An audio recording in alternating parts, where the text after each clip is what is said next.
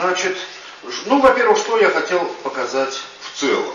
Ну, то, что я достаточно голословно утверждал вчера, а именно, что э, история числа Пи э, занимает многие тысячелетия и привлекала математиков из самых разных цивилизаций и культур. Ну вот это видно по второму столбику, какой есть разброс. Но также видно, что даже на истории этого все-таки сравнительно частного вопроса видна история науки вообще, вот как она из древних великих цивилизаций постепенно все-таки к нашему времени вот сдвигалась э, в Европу.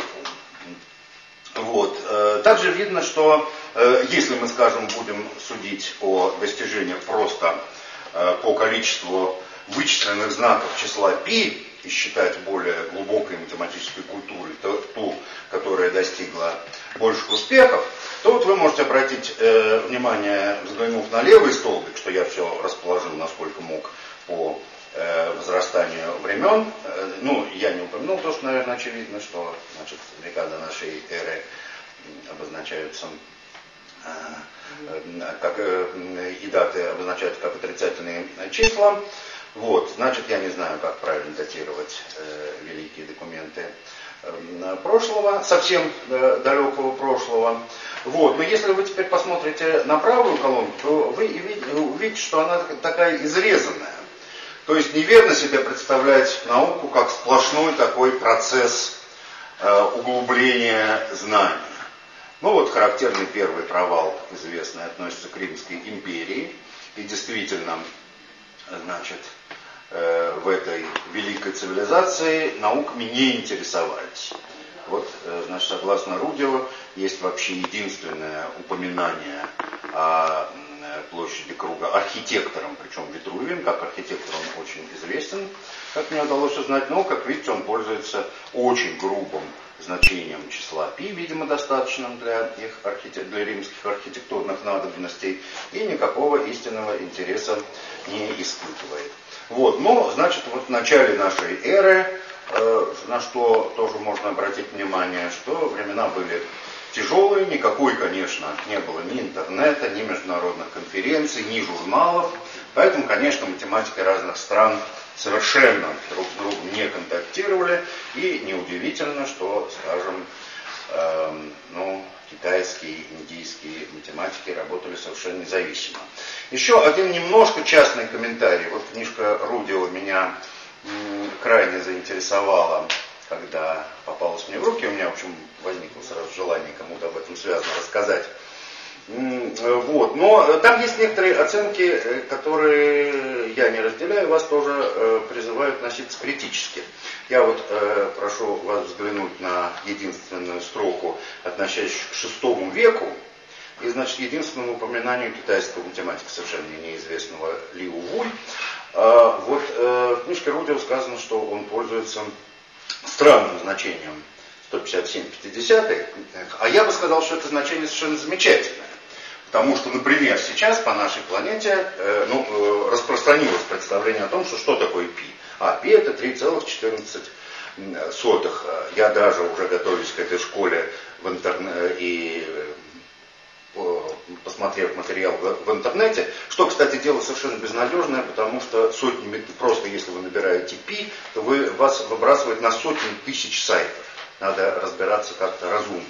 Вот, но я узнал, что есть общество пи, клубы пи, и в частности узнал, что, э, значит, есть день пи, Э, значит, э, естественно, 14 марта, третий месяц, 14 число, э, в Америке он справляется, всерьез американцы пишут даты именно в таком порядке, ну вот, значит, все мы можем там 14 марта, по крайней мере, мысленно друг с другом, скажем, чокнуться. Вот, значит, итак, 3.14 это то значение π, другой уж вопрос, точно оно или приближенное, которое стало общеизвестным за прошедшие века. Так вот, обратите внимание, упомянутый китаец единственный человек, который вот это самое э, странное, по мнению Рудио, число 157 50 значит, если числитель знаменатель умножить на 2, то получится ровно значение 3.14. Вот он единственный из всех этих авторов упомянул именно его. Я обращаю ваше внимание на это в связи с тем, что в книжке Рудева э, указано, что китайцы вообще не внесли никакого совершенно вклада в эту науку, э, вопреки их громогласным заявлениям о том, что все науки пошли из Китая. Вот. Ну, я хотел, хочу подчеркнуть, что вот некоторые, некоторые внесли. Вот. Ну, еще я хочу подчеркнуть, что некоторые обстоятельства э, получения этих результатов, конечно, скрыты от таблиц. Ну, например, э, вот э, э, хорошее очень значение в третьей э, снизу строчки, полученной тоже мне неизвестным французским математиком Аронтием Финеем, Э, вот, эм, омрачается тем, что в конце жизни он утверждал, что это значение точное. Вот. И вообще все эти результаты сопровождались э, диспутами, опровержениями.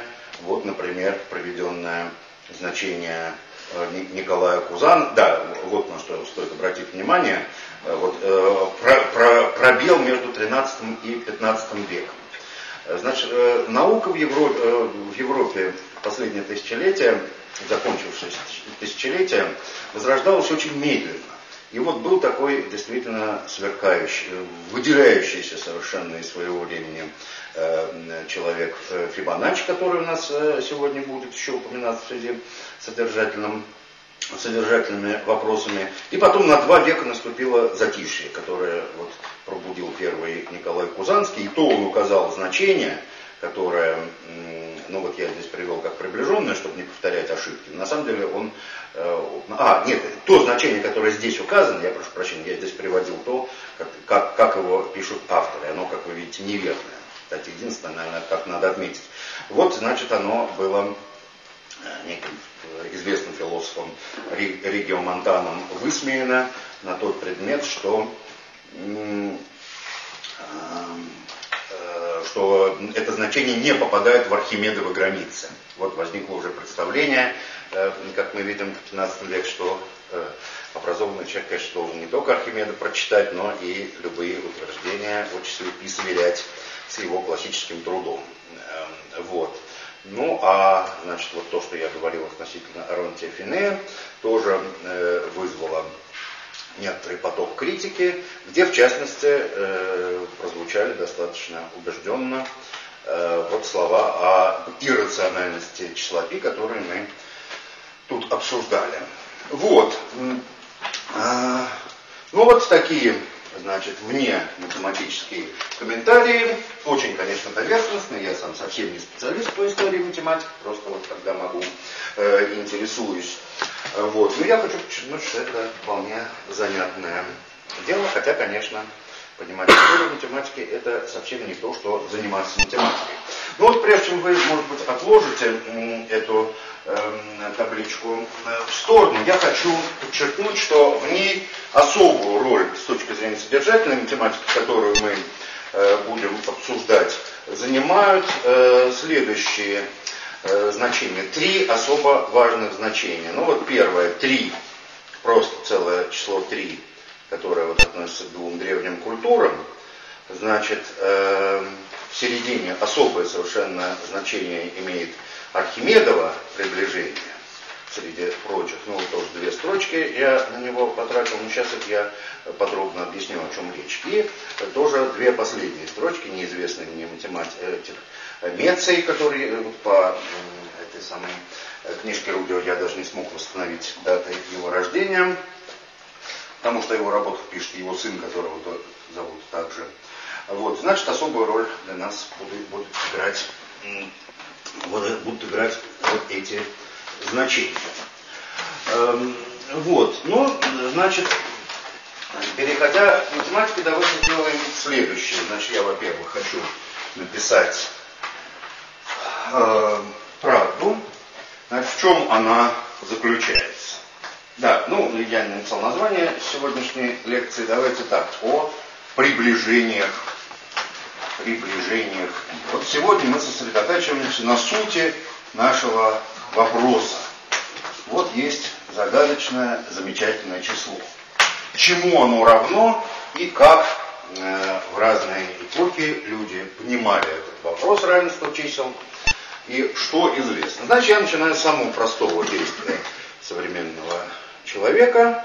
Значит, я беру свой Texas Instrument, на котором есть специальная кнопочка P, и списываю все знаки, какие она мне показывает. Инструмент замечательно надежный.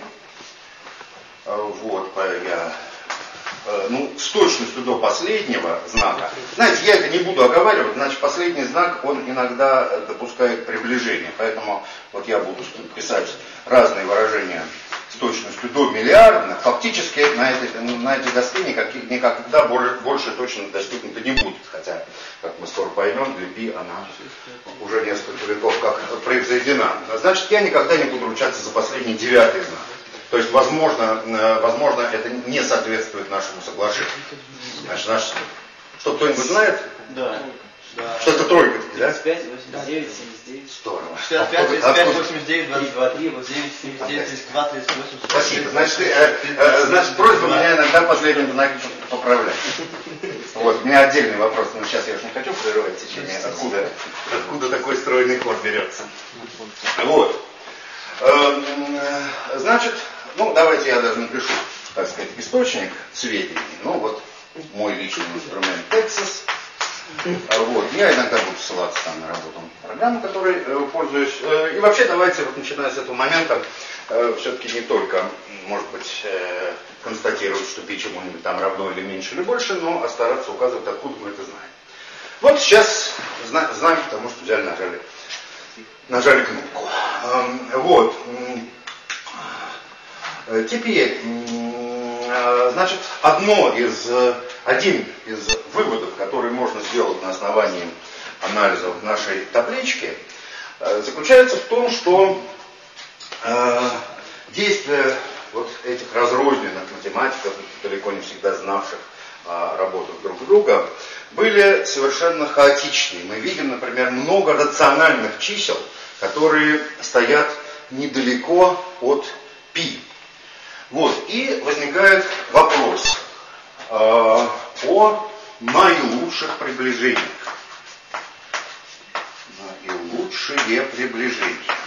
Значит, сейчас я э, пишу это слово наилучшие как э, в общечеловеческом смысле. А вообще-то это математический термин, который мы скоро, э, э мы скоро раскроем. Вот. Значит, это такая вычислительная теория, к сожалению, мало известна совсем. Но вот мы ее сейчас коснемся в связи с ПИ, но немножко я о ней поговорю вообще. Ну, у меня есть маленькое оправдание, что я довольно много буду сегодня говорить устно. Доска действительно маленькая. И я хочу сказать, сначала я дам вам приближенное представление о том, как, э, что значит приближать π наилучшим образом. Э, или любое вещественное число наилучшим образом. Значит, мы просто хотим, чтобы знаменатель числа был по возможности небольшой, а из чисел с данным знаменателем мы хотим приблизить интересующее нас число как можно лучше, как можно ближе. Ну вот дальше будет некоторая деталь, что мы хотим приблизить то сверху, то снизу, но вы в таблице можете видеть, что приближения поднимались всегда по-разному. Ну и что такое хорошее приближение, давайте обсудим. Вот что лучше. Эм, значит, какая запись вам больше понравится? Пи равно, скажем, 3, 3, 14, 15 и так далее. Это согласно нашему, э, нашей договоренности абсолютно точное утверждение, да, которое говорит о том, что пи лежит Э, между 3, 14, 15 и сказать, что π приближенно равно 3, 14, 16. Значит, ну я бы сказал, что математически лучше, конечно, верхняя запись, она представляет собой точное утверждение. Знак приближенного равенства не значит ничего, он не имеет никакого математического смысла.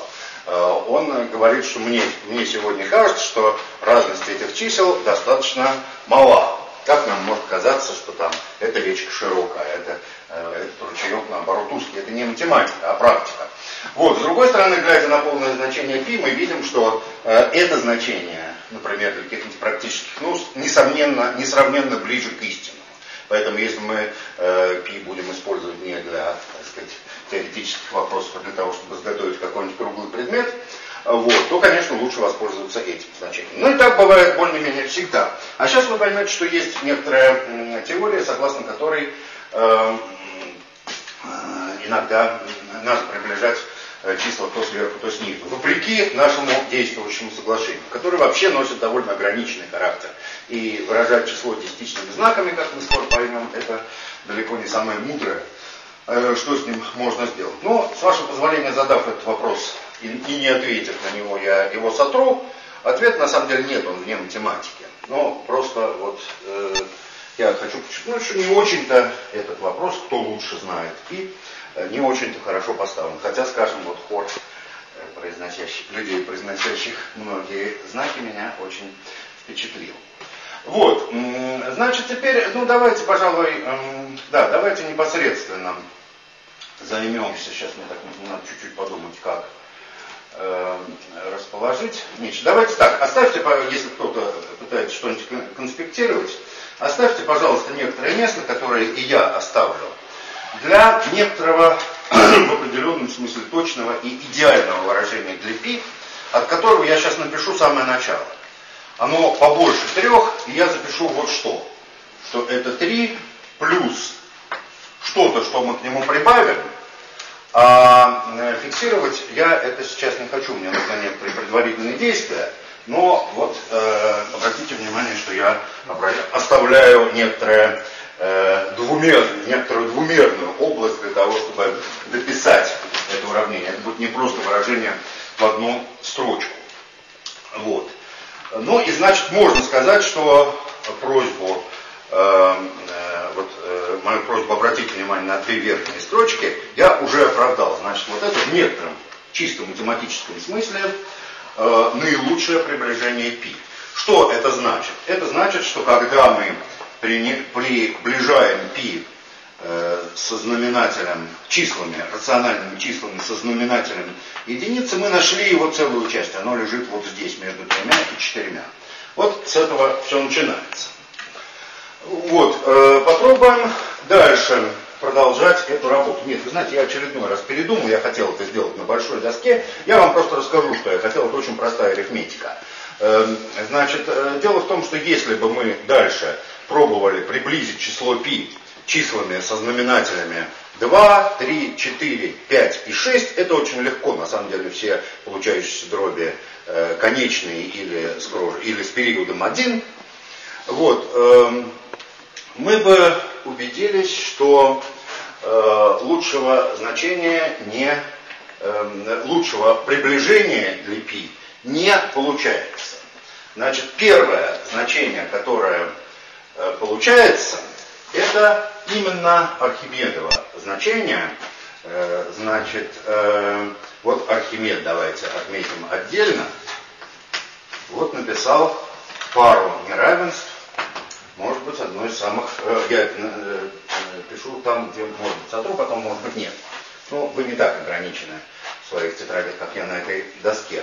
Наш вот Архимед написал следующее замечательное равенство – Э, ну, ну, на самом деле, если брать сумму π и так называемого аликвотного числа, то есть числа обратного целому, единицы поделить на целое, то вот, э, значит, э, наилучшим, последним приближением, которое останется больше π, будет именно число 3 плюс 1 седьмая. Значит, кстати, я обращаю ваше внимание на вот свою привычку, которую хочу вам передать. Значит, в школе называется, есть такая штука, которая называется правильной дробью. 3 1 седьмая. Вот я призываю не пользоваться этой записью по той простой причине, что опускание знака э, действия в современной математике воспринимается как умножение. Да? 2х. Мы, как, мы вполне можем писать 2х. Конечно, э, мы не напишем 2, 3, имея, а то это прочитается как 23. Но вообще опускание знака операции присущее умножению.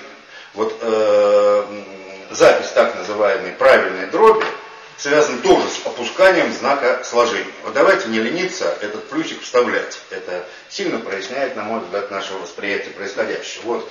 И Архимед нашел замечательные и красивые, и тесные границы. Значит, а тут стоит 10 71 Вот. Эм, которые, ну вот э, я хочу подчеркнуть, что в некотором наивном смысле слова это и есть следующее наилучшее приближение.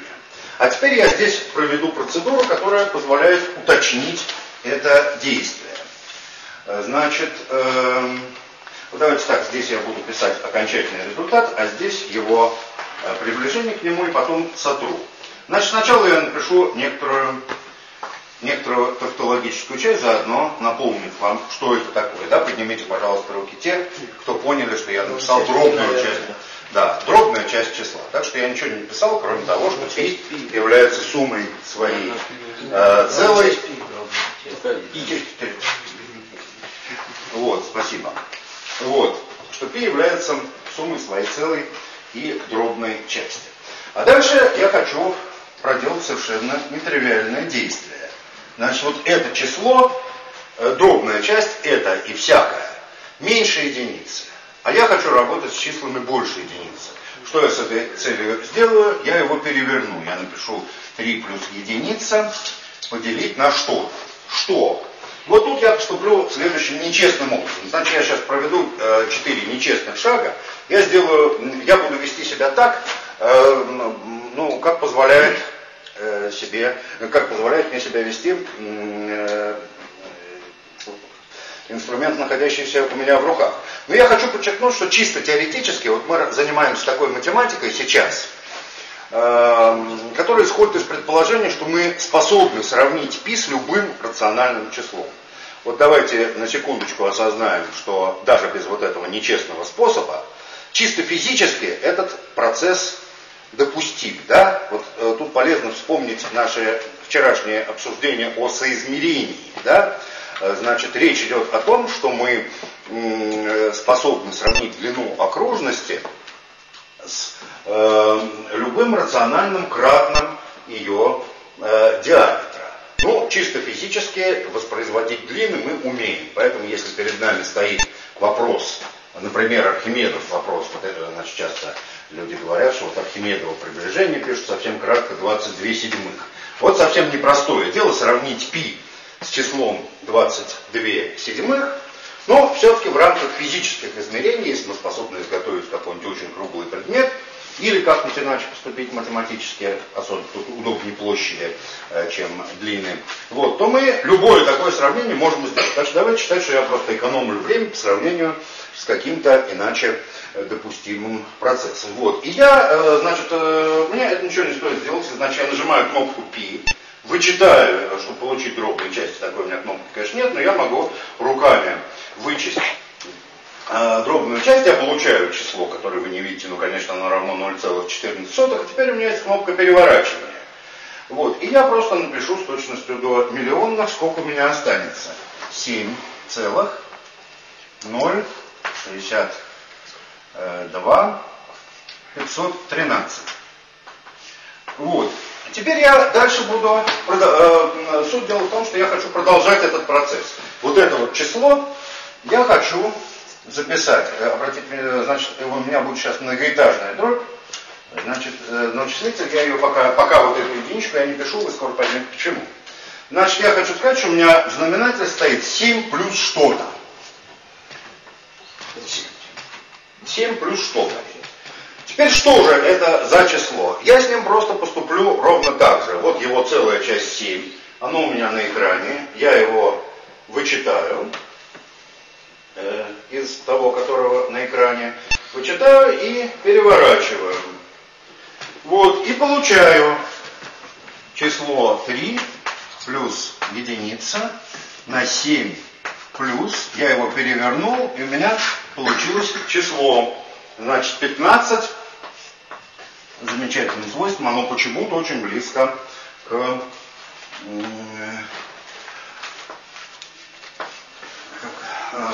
очень близко к 16. Но тут я буду ограничиваться точностью до тысячной. И уже пишу сюда окончательный результат единицы плюс э, еди, э, да, потом будем писать 15 плюс что-то следующее. Это как раз столько этажей, насколько сколько мне позволил доска, я стираю архимедовые границы. Вот, и последний раз провожу это действие. Значит, э, еще разочек переписываем, что было. 3 плюс единица на 7 плюс единица на 15 плюс, значит, остается число, которое мы, мы его вычитаем из 15, эм, то есть вычитаем из него 15, но получаем дробную часть, как вы понимаете, почти, э, которая является почти единицей, поэтому неудивительно, что когда мы ее перевернули, получится вот такое вот число.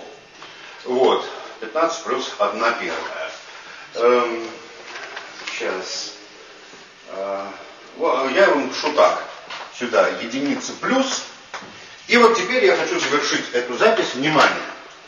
Значит, э, я начал, я вам продемонстрировал четыре шага некоторого бесконечного процесса, суть которой я постараюсь вот в ближайшее время вам объяснить, и пока пообещать, что процесс очень важен в вычислительной математике. Вот. И не особенно вдаваясь в детали, я хочу подчеркнуть, что он не ограниченный. Имея в виду, э, да, э, могу сказать, что возможности моего микрокалькулятора ровно на этом шагу исчерпываются. С микрокалькулятором я дальше уже не могу действовать, а вот как могу, это мы будем обсуждать дальше. Но значит я имею в виду, что вот точное равенство здесь означает, что в том или ином смысле мы подразумеваем бесконечно этажную дробь. Хотя я хорошо понимаю, что никого из вас этому не учили. Тут в этой школе можно иногда спрашивать знания. А, неправильно, неправильно понимаю. А. Да, прошу прощения, значит не сюда попадаешь. Да. Хорошо, не буду больше высказывать таких предположений, да, именно о цепных дробях речь. Да, скорее надо было сказать, что в, обыч, в обычных программах ничего совершенно похожего нет, но вы черпаете свои сведения где-то еще. Вот, что очень хорошо, конечно. Вот. Итак, мы имеем в виду в том или ином смысле бесконечное этажное выражение. Ну и теперь я его завершу просто, чтобы оно красиво выглядело. Вот я предлагаю выравнивать э, линии дробей по правому краю в зависимости от того, сколько мы написали, ну, единички, так, значит, чтобы, чтобы было видно, что мы работаем с цепной дробью. Значит, вот мы э, написали несколько э, элементов разложения π в цепную дробь. Ну, для знатоков надо, видимо, уже говорить, что в цепную дробь Лагранжа. Мы будем рассматривать и другие цепные дроби. Вот, значит, э, э, сопутствующие приближенные действия я стираю. Вот, ну и э, хочу сказать, что вообще вот такая последовательность знаков, описание пи последовательностями э, натуральных чисел, ну это самый, конечно, важный подход к пи. Ну вот, э, я хочу сказать, что у нас он уже представлен в двух вариантах. Можно традиционно выписывать знаки, а можно э, продолжать разложение пи в цепную дробь. И хочу обратить ваше внимание на одно фундаментальное различие между этими двумя э, подходами, э, согласно которым цепная дробь гораздо глубже.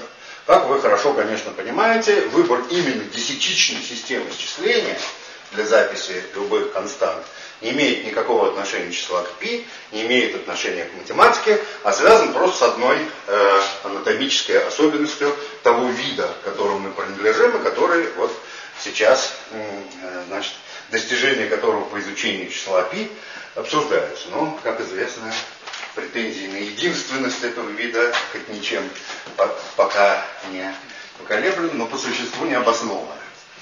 Вот. Э, что же касается разложения π в цветную дробь, то он никакому случайному э, основанию исчисления не привязан. Значит, это такое разложение, которое просто существует в мире чисел и о котором мы сейчас будем говорить дальше. Так, значит, прежде чем мы, это, мы к этому э, делу перейдем, я начну с того, с, с чего, может быть, и следовало вообще начинать э, сегодняшнее рассмотрение. Эм, э, э, может быть, с одного из самых старых, самых мудрых алгоритмов алгоритмов, существующих в математике. Сейчас я буду выяснять, насколько все понимают, что это такое. Алгоритмом Евклида. Евклида. Сама связь нашей процедуры. Э, значит, дежурный вопрос, на который я уже совершенно не могу предсказать ответа.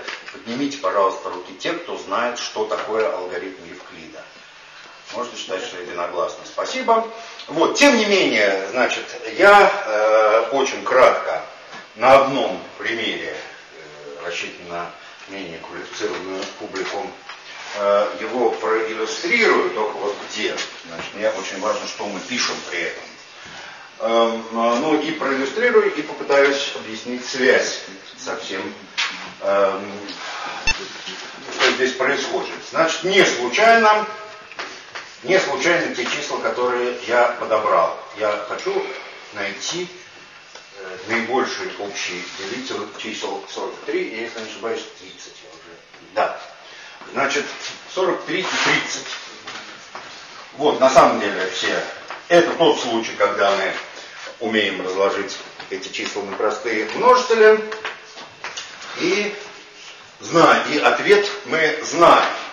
Вот, на мой взгляд, в школе математики совершенно недостаточно подчеркивать, подчеркивать тот, тот факт, что если нам даны просто два больших числа, например, девятизначных, то разложить их на простые множители мы можем исключительно с помощью специальной программы и проверить, сокращаются они или нет. А вот найти общий множитель, если они есть с помощью алгоритма Евклида, мы можем очень быстро.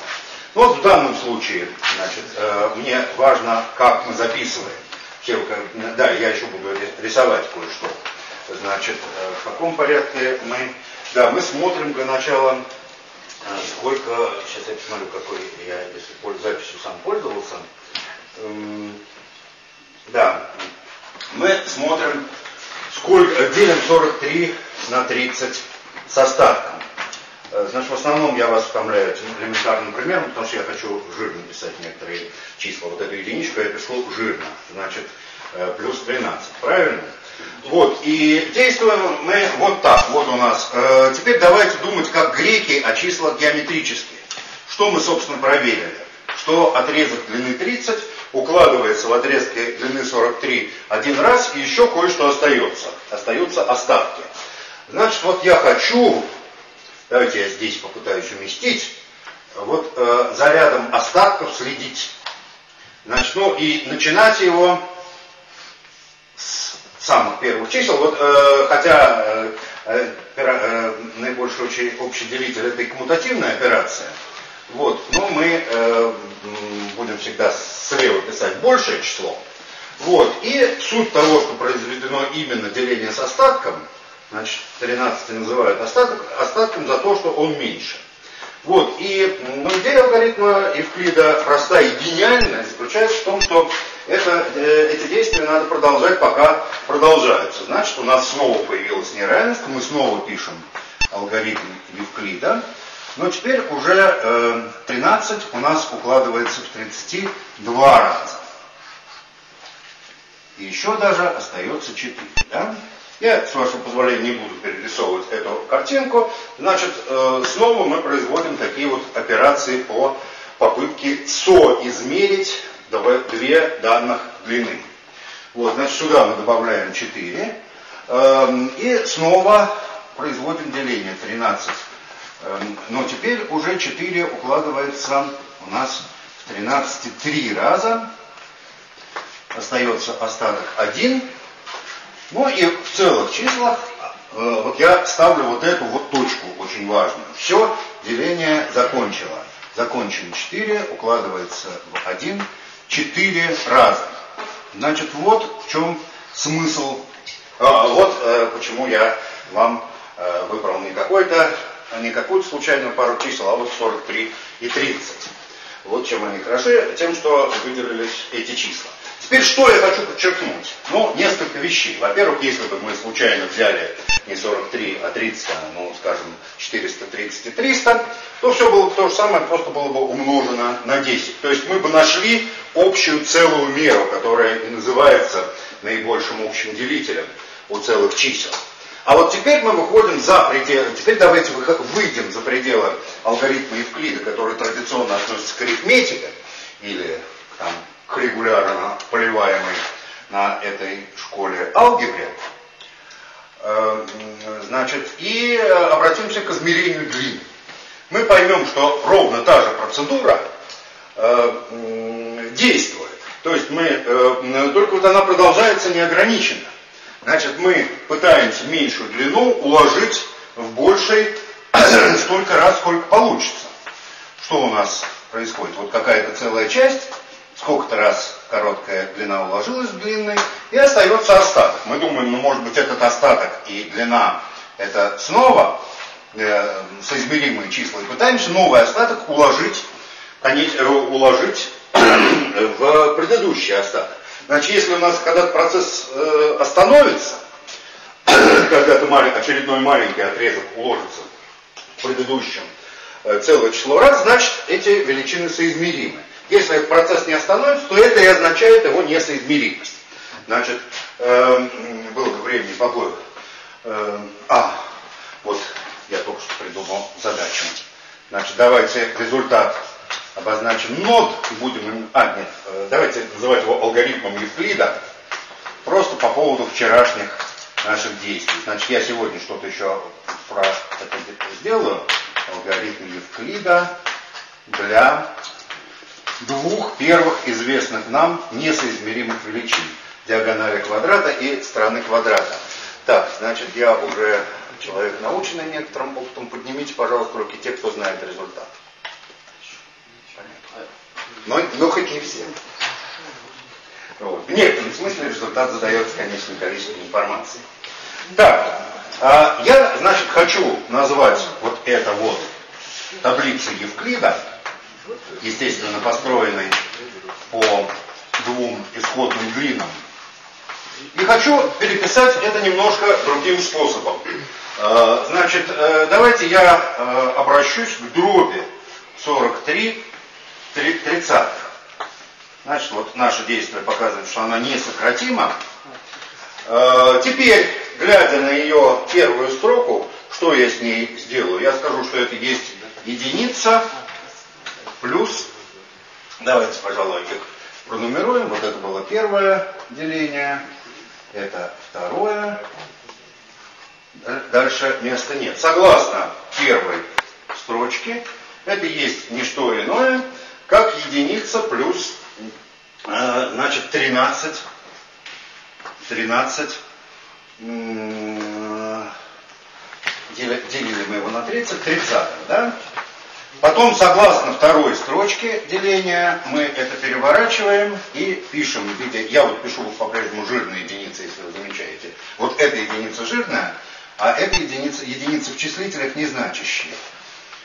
Э, единица, значит, э, вот э, из второй строчки у нас получится, что это будет 2.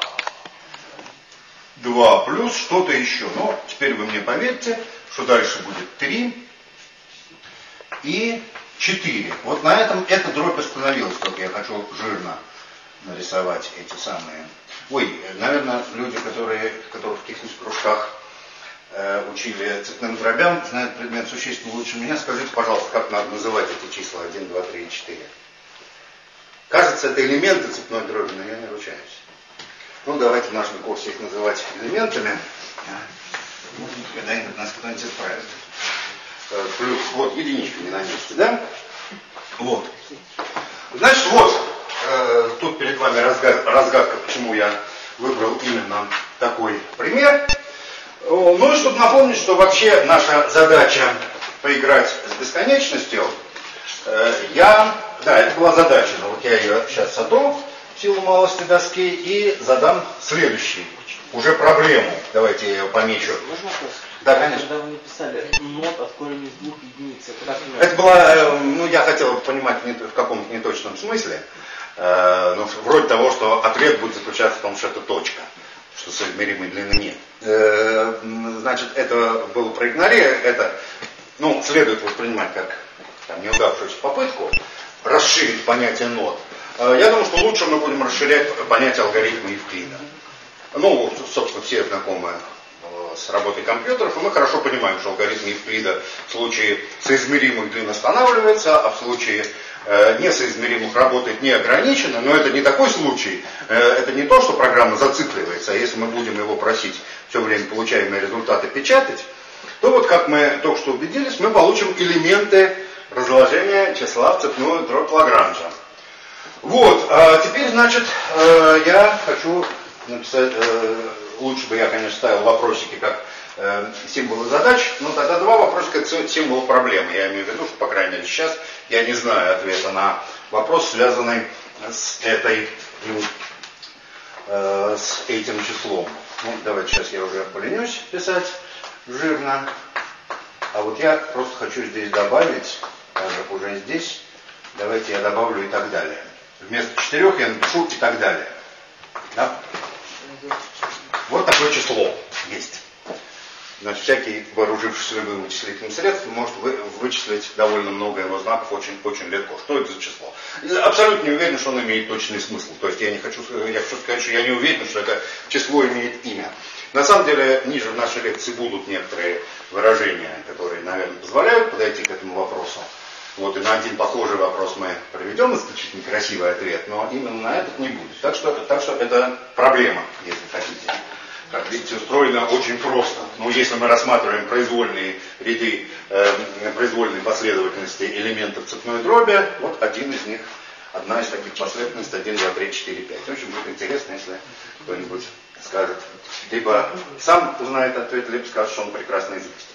Ну, вот это была основная причина, по которой я а, тут потратил столько времени на рассмотрение детского примера. Вот. И э, теперь давайте э, давайте что-то скажем о продолжении этих действий для пи. Пока, честно говоря, никакого алгоритма нет, э, но я хочу э, просто вот сейчас, может быть, э, оторваться немножко от числа π и поговорить о цепных дробях вообще. Так, и вы знаете, я все-таки понял одну печальную вещь, что никак мне не хватит остающегося э, пространства доски.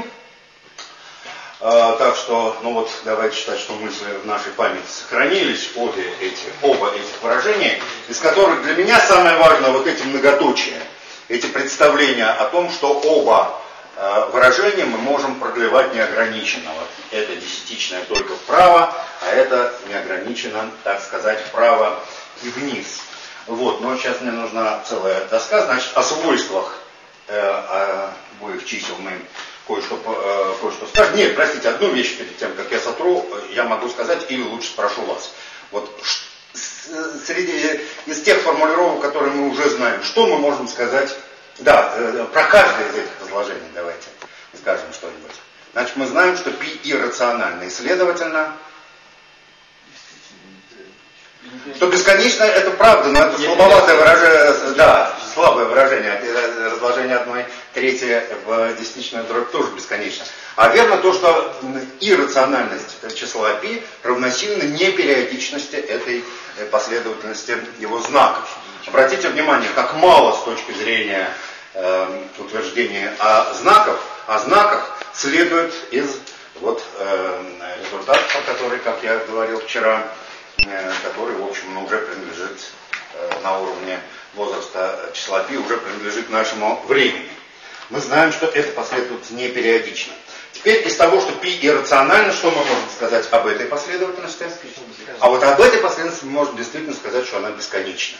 Э, очевидно, э, значит, вот из нашего понимания алгоритма Евклида следует, что наша процедура оборвется тогда и только тогда, когда π и единица соизмеримы. А мы э, знаем формулировку, что это не так. Вот. На самом деле, из того, что будет обсуждаться дальше, мы э, сможем сказать чуть-чуть побольше. Но, конечно, не намного. И существенная часть недоступна в современной науке вопросов. Ну вот мы обсудим где-то в самом конце этого курса. Так, значит, э, итак, о цепных дробях вообще.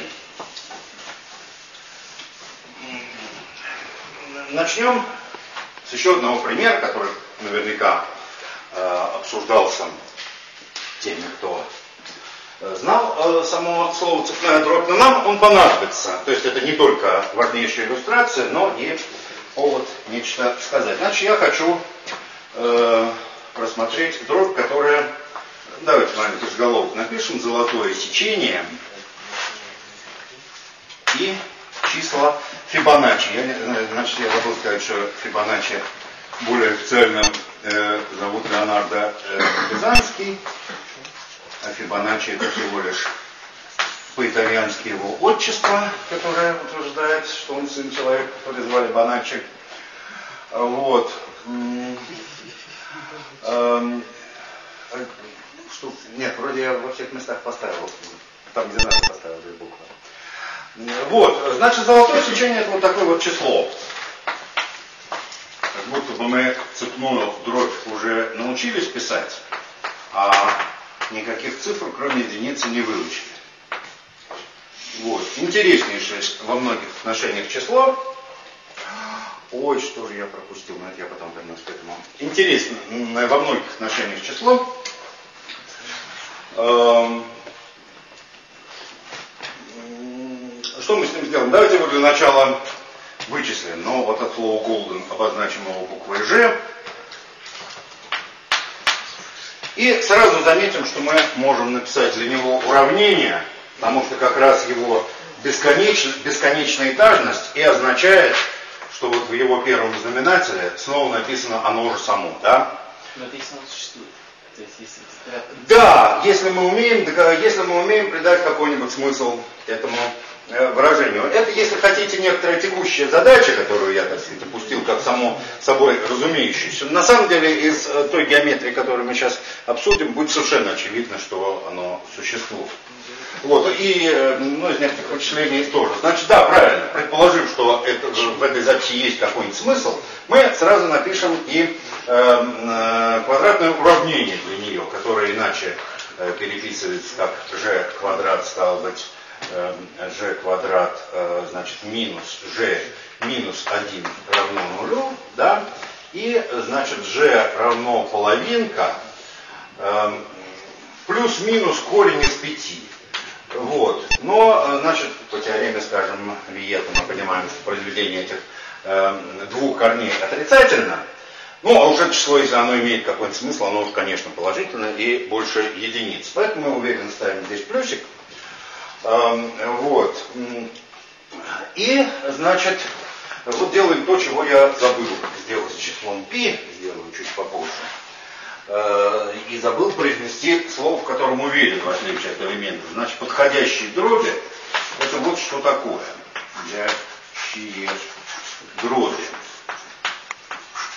Значит, мы э, придаем этой бесконечной этажной записи, ну, ровно такой же смысл, какой придаем и бесконечной э, десятичной записи числа. Э, то есть мы берем ее обрубки и смотрим, как они себя ведут. Вот, значит, тут они ведут себя так. Единица, значит, дальше одна, сейчас, только тут, внимание, надо писать не так. Эм, значит, вот что. Мы составим такую таблицу.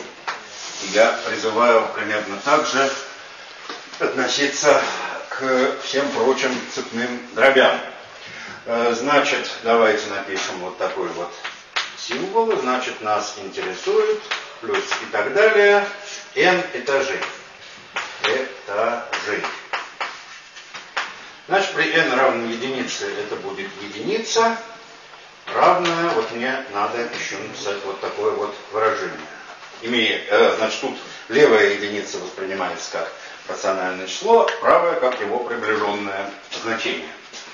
Значит, второе число, э, второе число я буду вычислять тут, значит, единица плюс одна, первая, следующая подходящая дробь это 2.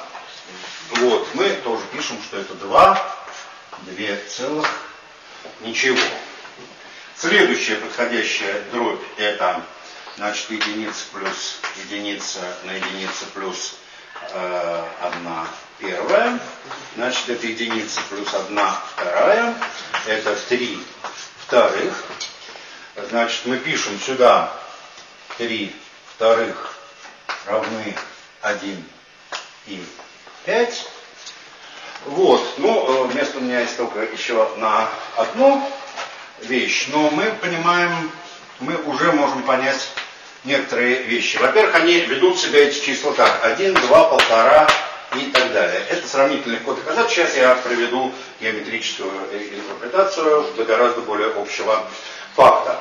Вот, во-вторых, э, ну все, наверное, знают или догадываются, что в результате сложения единиц у нас получится тут сплошные числа Фибоначчи.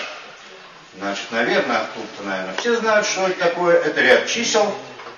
Э, вот, э, то есть числители образуют ряд чисел Фибоначчи, знаменатели образуют ряд чисел Фибоначчи и так далее. Ну вот напишем еще 1, э, 666 и так далее. Вот, ну, было побольше времени и места, мы, конечно, легко проверили, что этот э, эмпирически сначала 6 последовательно сходится именно к золотому сечению. Вот. Причем сходится вот таким вот осциллирующим образом, как пила. Вот. Э, ну, э, забегая вперед или вбок, скажем, что эта последовательность подходящих дробей, она довольно хорошо сходится к своему золотому сечению, но хуже всех на свете других цепных дробей. И, ну, в некотором смысле, чем меньше, ну тут всегда стоят натуральные числа в этой теории, чем меньше числа, тем э, хуже сходимость. Вот меньше сплошных единичек не бывает. А и, и то, нули, э, будут введены ограничения, согласно которых нули, ну, нули, нулей здесь не может быть на этих местах. Значит, мы играем вот в нашей, наших элементах, в отличие от нуля, как э, десятичного знака, нулей нет. Вот, э, ну, значит, все вот устно сформулированные утверждения, в общем, э, школьники моложе, чем легко доказывали, так что эта задача для данной аудитории совсем простая. Тем не менее, я бы, конечно, был признателен всякому, кто подробно э, напишет все на эту тему, а я непосредственно займусь обобщениями, которые, может быть, уже и не такие известные. Вот, значит, про золотое сечение мы более-менее все поняли. Ну, сейчас я сразу напишу общие выражения для э, его числителей и знаменателей. Значит, вот теперь давайте так сказать, сменим возрастную категорию, и я хочу немножко вам поговорить, поговорить с вами об общей теории, из которой и будет, будут ясны все сделанные утверждения. Значит, во-первых, мы исходим из того, что мы, мы начинаем не просто с положительного числа, а с числа большего единиц по некоторым техническим причинам так удобно. Значит, вот наше главное действующее лицо – это некоторое число лямбда больше единицы, которое мы давайте и представим в виде цепной дроби Лагранжа. Э, чуть попозже я... Нет, ну, собственно говоря, то, что это можно сделать, мы проиллюстрировали на э, числе π, могли бы на числе, скажем, э, на золотом сечении продемонстрировать. Э, то есть, в общем, процедура получения элементов э, дроби Лагранжа по числу нам ясна. Скоро будет написана точная формула. Вот. Э, теперь, что я хочу сделать? Значит, поднимите, пожалуйста, руки тех, кто здесь, в этой школе, слушает какой-нибудь курс, связанный с динамическими системами. Ну, больше, это суще, существенная такая часть. Значит, на самом деле, с тем, что мы обсуждаем, связаны две динамические системы. Одна другой замечательная. Вот, и получается они очень просто. Одна, значит, вот у нас такая есть бесконечная этажная дробь, ее надо разрезать на э, начало, на конечное начало и бесконечный конец. Значит, с конечным началом связана одна замечательная динамическая система, с отрезанным концом другая. Я их сейчас обе приведу и поговорю об их геометрическом смысле. Эм, значит, э, так, э, что касается отрезанного конца, давайте сразу напишем, э, что мы вводим такое выражение оно, запишем, что такое подходящая дробь.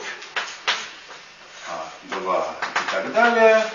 Значит, вот подходящая n-этажная дробь, простите, лучше с другой стороны писать, n-этажная дробь, n этажей Э, да, некоторое время, значит, вот мы позанимаемся презренным предметом алгеброй. Э, и давайте считать, что А0, А1 и А2 это произвольные переменные. Если хотите, переменные. Э, есть такие люди, алгебраические геометры, которые иногда любят работать над произвольным полем. Это для экономии э, времени иногда делается, чтобы не повторять э, там над полем вычетов по модулю P и для комплексных чисел, то, что уже однажды сделано для единственных существующих настоящих, а чтобы немножко поэкономить мысли и, э, значит, не, э, и рассматривать результаты произвольной общности. Значит, здесь это вот просто буквы, которые можно перемножать, складывать и делить, то есть элементы произвольного поля. Так вот мы их возьмем и обозначим, значит, несколько не значит, как, э, да, у эм, вот это будут у n поделить на vn.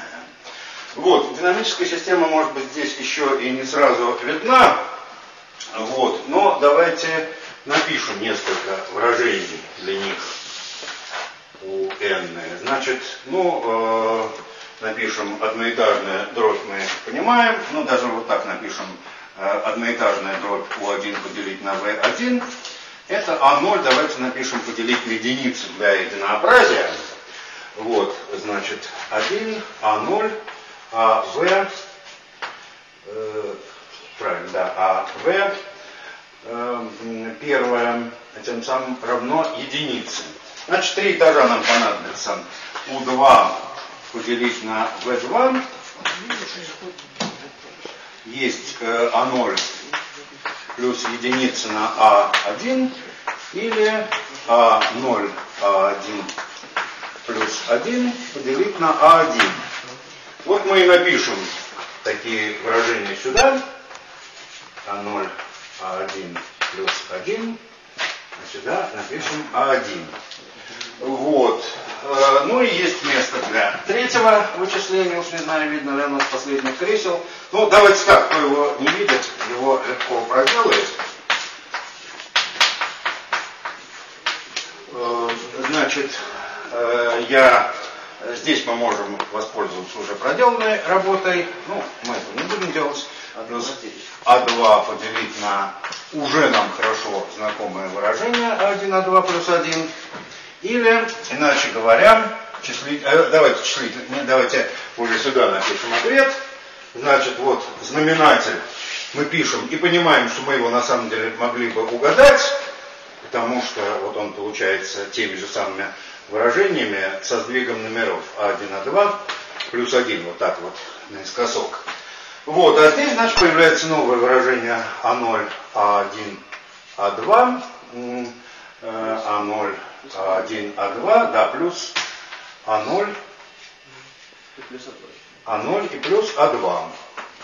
Вот, значит, и так далее. Итак, я имею в виду, что вот мы работаем с этими переменными. Теперь, значит, э, мне придется это для краткости сейчас, к сожалению, стереть. Вот, но, значит, наблюдение такое мы сделаем. Э, два э, да, значит, посчитаем У2 минус У0 поделить на У1. Сколько, сколько у нас получится? Э, значит, убираем А0 и видим, что А2 выносится за скобки, да? Получается, ой-ой-ой, сейчас одну минуточку, такая нумерация. Я хотел, чтобы получилось.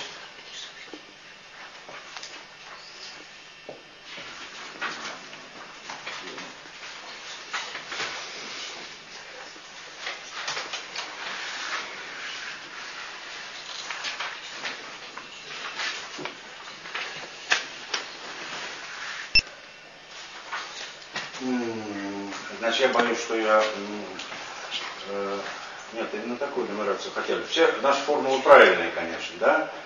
Э, а, так вот я тут, у нас нету никакого аннуля. Почему, почему-то опыта не раздавалось. Все правильно, кроме того, что я поставил неразрешимую задачу. У3 минус У1 я хотел поделить на У2.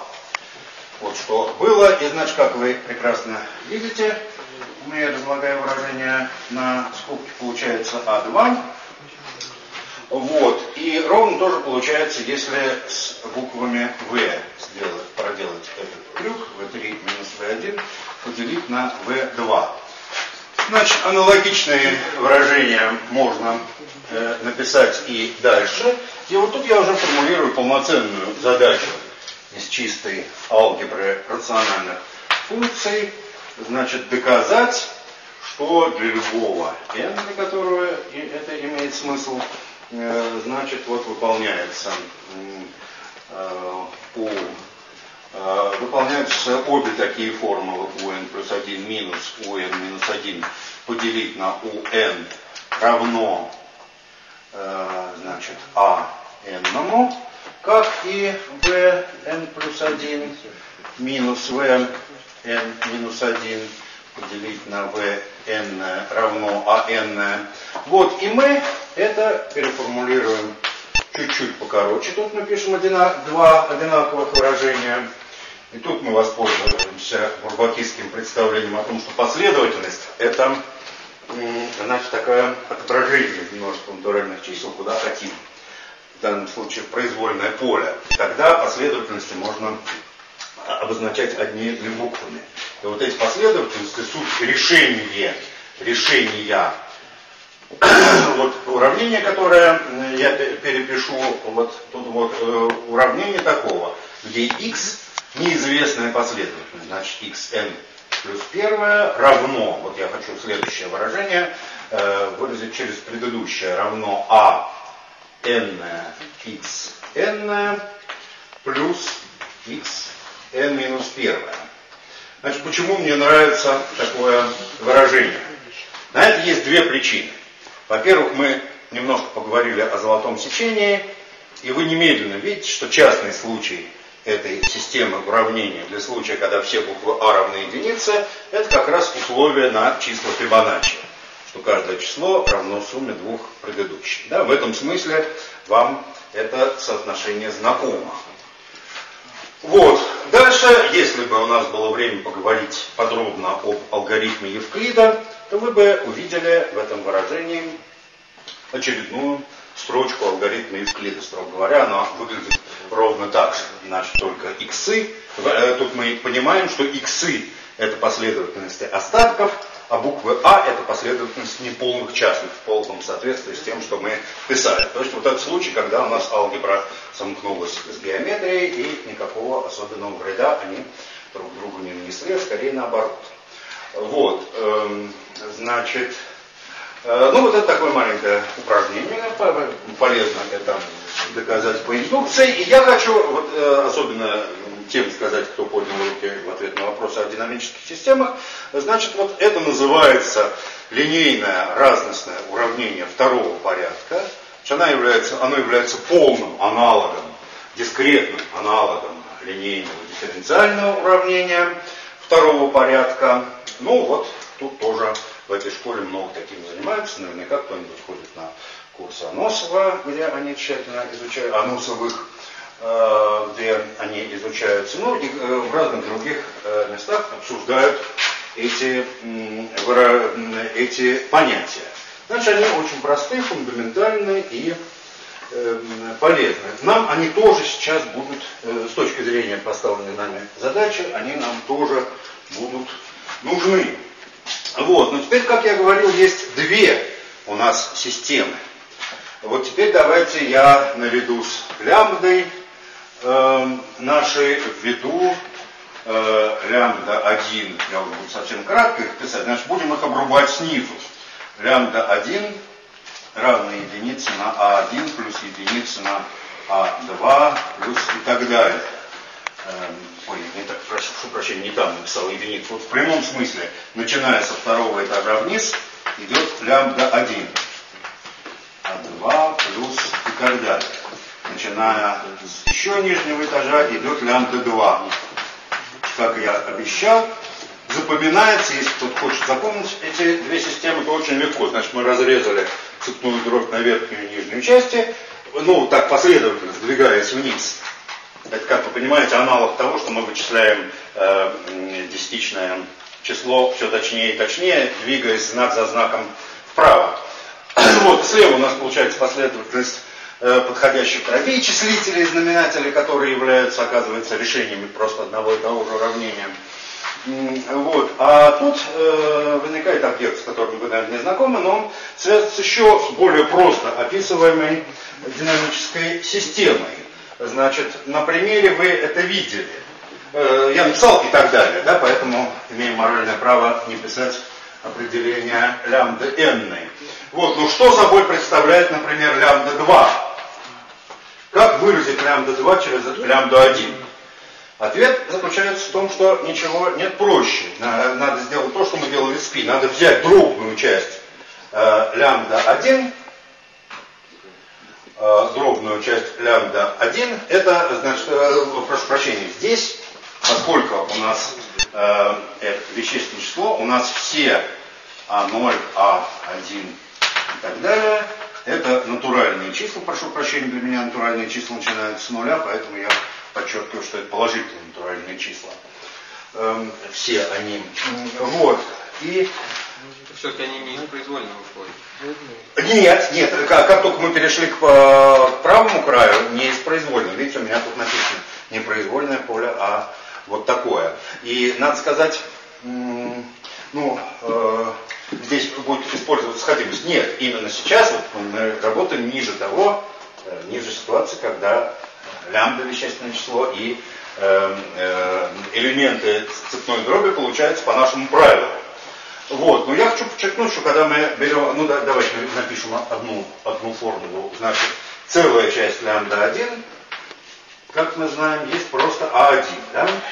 А все остальное дробная часть. Поэтому, чтобы получить все остальное, лямбда 2, надо просто перевернуть дробную часть э, лямбда 1. Тут, правда, возможно маленькая неприятность. Да? Если мы начинали с рационального числа, то э, рано или поздно деление будет нацело, и дробная часть станет равной нулю, а на ноль делить не, нельзя. Да, я прошу прощения, значит, вот тем, кто понимает язык динамических систем, ясно, что мы э, всего, мы пришли к рассмотрению вот такой вот замечательной динамической системы которое каждое вещественное число отправляет в число обратное ее дробной части. Мне особенно приятно это произнести, потому что, пожалуйста, мне поверьте, что вот есть несколько взглядов на эту теорию цепных дробей, которые бывает трудно и неудобно писать в многоэтажном виде. Вот вся теория сводится к этой, э, все результаты формулируются на языке этой динамической системы, которая Эм, э, вот такая короткая. Значит, в ней еще есть маленькая беда, которую я только что упомянул, заключающаяся в том, что она, э, ну мы не определили еще множество, на котором она э, определена. Значит, хочется определить на вот таком множестве, но на таком множестве она не, не определена. Семерку она уводит в бесконечность. Но эта беда совсем легко ликвидируется тем, что давайте просто считать, что эта динамическая система э, определена на множестве f, э, не э, r, э, да, значит, чисел строго больших единицы, которые мы возьмем и добавим одноэлементное множество, состоящее из бесконечности. Вот это отображение вот этого множества в себя. Вот. Естественно, ну, когда у нас попадается обычный ноль, Значит, вот в школе так писать нельзя, но мы говорим, что 1 на 0 по определению. У нас возникает выражение 1 на 0, по определению они равны бесконечности. Еще, чтобы окончательно зафиксировать нашу динамическую систему, скажем, что бесконечность переходит в себя. Вот теперь у нас есть совершенно честное отображение. Не на бесконечность, а дробную часть бесконечности. А. Да. Это про, просто, что, просто чтобы не мучиться. Никакого интуитивного смысла она не имеет, просто чтобы не мучиться с отдельными оговорками. Вот, а теперь, значит, я хочу сформулировать в терминах этой динамической системы два фундаментальных результата, один из которых очевиден, другой имеет отношение к нашему предмету. Значит, а нет, давайте теоремы будут две, потому что одной даже автора неудобно называть. Эм, она очевидна. Теория. А, давайте, давайте э, все очевидно, давайте лучше называть задачами тогда. Э, значит, как мы будем ее обозначать или нет? Я не продумал, лучше бы мы э, придумали название для этой стрелки, но сейчас я его не придумаю, поэтому буду писать словами. Значит, лямбда, ну даже не словами, а такими вот символами. Лямбда выходит на бесконечность. В каких случаях это происходит? Скажите мне, пожалуйста, формулировку этой задачи. Да, ровно рациональные числа характеризуются именно этим свойством когда они рациональны. Ну, давайте здесь подчеркнем, э, давайте даже точнее. Мы выразимся чуть-чуть точнее. Значит, рациональные числа мы рассматриваем не все. Еще у нас, значит, вот в курсах там, э, Юрий Сергеевич подробно описывалось, что есть периодические точки, есть неподвижные точки. Вот еще, значит, бесконечность сама на себя выходит. Это такая, можно сказать на языке динамических систем, э, что это точка, притягивающая все рациональные, э, значит, на нашем множестве есть, в нашем множестве есть такое подмножество рациональных чисел. Вот бесконечность для нашей системы это точка, которая притягивает их все. Вот. А вторая уже теорема, которую я никак не могу дать в виде задачи, потому что она принадлежит Лагранжу.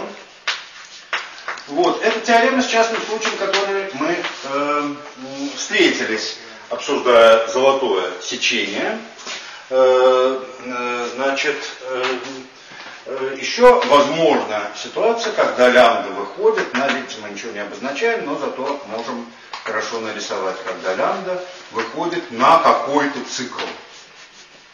Вот. Угадать это невозможно, но мы знаем один пример. Да? Вот наше, наше золотое, в нашем золотом сечении, ну, надо было проверить на уровне лямбда, а не элементов, э, цепной дроби. Но это, так сказать, очевидное, хорошее упражнение.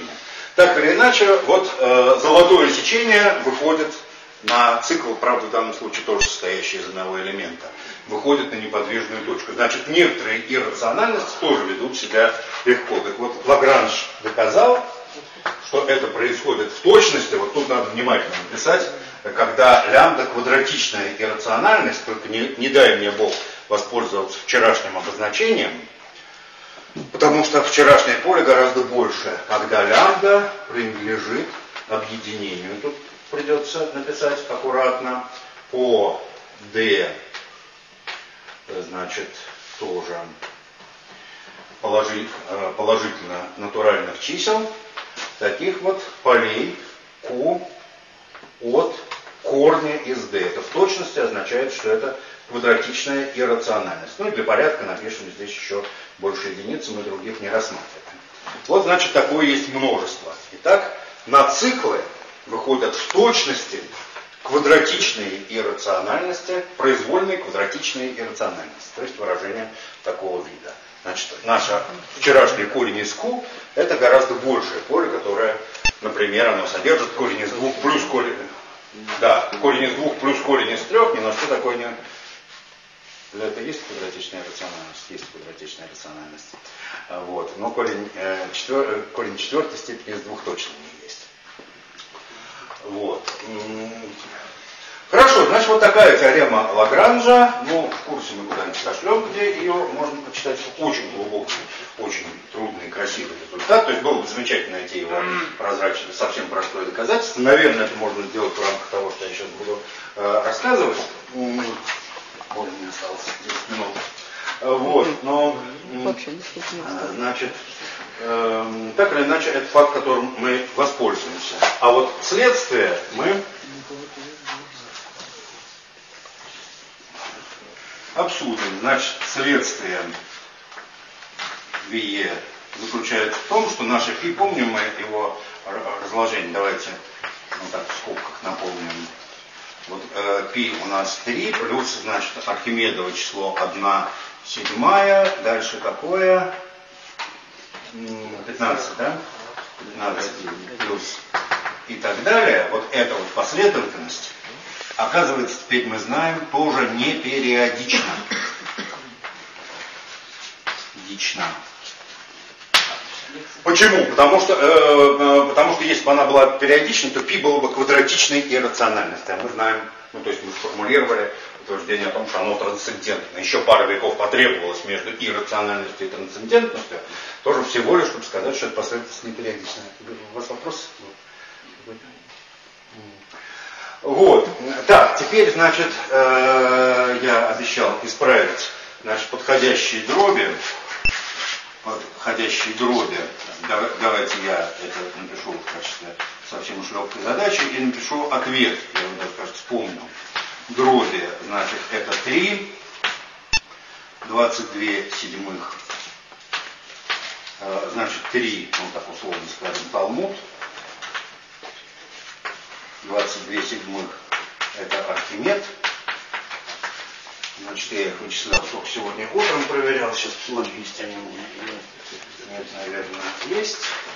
Эм, подходящий, да. Значит, дальше идет 333, 333 106 106 никем в истории не, ну, известным автору, который я упоминал, не полученный. А вот следующий ответ, значит, как вот этот самый рывок нашего последнего героя, как я даже фамилии, посмотрите, пожалуйста, строчка, видите? Мецруй? Меция, да. А вот э, э, последнее э, число в этом ряду, это как раз число Меция. 355, 355, скольких? 113. Вот это есть случай исключительной совершенно удачи, вообще говоря, не очень маститого ученого. Э, посмотрите, пожалуйста, на эту последнюю строчку, я туда сложил свою, но я помню, что там написано. Значит, Меций хотел превзойти Архимеда. И его, на самом деле, он, Архимед просто-напросто считал периметры 90, приближал периметры вписанных и описанных 96 угольников, и вот так получил свои значения. Но вот Мерций как-то тоньше, лучше считал корни, и получил два числа, которые там написаны, два рациональных числа, чуть-чуть, совсем чуть-чуть получше, чем у Архимеда. Потом он э, с, с этими двумя числами сделал то, что делают некоторые двоечники. Я, простите, забыл сказать, что Пиза, Леонардо Пизанскому принадлежит блестящая идея, вместо того, чтобы взять две границы, и сказать число между ними, вот все-таки получить какое-то приближенное равенство, взять их среднее арифметическое. Меций, получил, Меций поступил как двоечник. Вместо того, чтобы взять среднее арифметическое двух рациональных чисел, он э, сложил числители, сложил знаменатели. Или лучше сказать, взял среднее арифметическое числители и поделил на среднее арифметическое знаменатель. Вот, но кому в последующие века поставили двойку за это, но он, как вы видите, взял и угодил в наилучшую подходящую дробь, и за счет этого сразу одним махом получил 6 знаков, 6 знаков числа, обогнав своих предшественников, а, перескочив от, одно, от э, знания до тысячной до знания до миллионной числа. Вот такие бывают э, удачи.